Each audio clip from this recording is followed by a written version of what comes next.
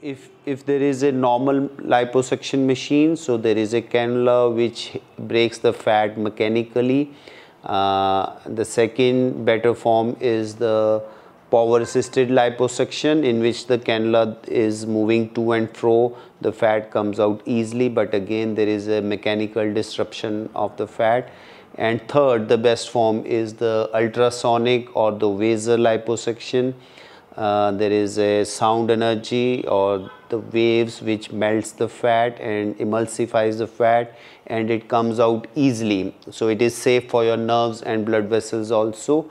And last we also have the water jet liposuction which is again the advanced form of liposuction which is more safer so last is the doctor. If your doctor is experienced, he is a plastic surgeon and he has got all the trainings uh, for the aesthetic surgeries. So I'm doing this for more than 15 years and we have all the advanced technologies, all the advanced machines. If you opt for the ultrasonic liposuction and for the skin tightening and for the high definition liposuction, the cost increases.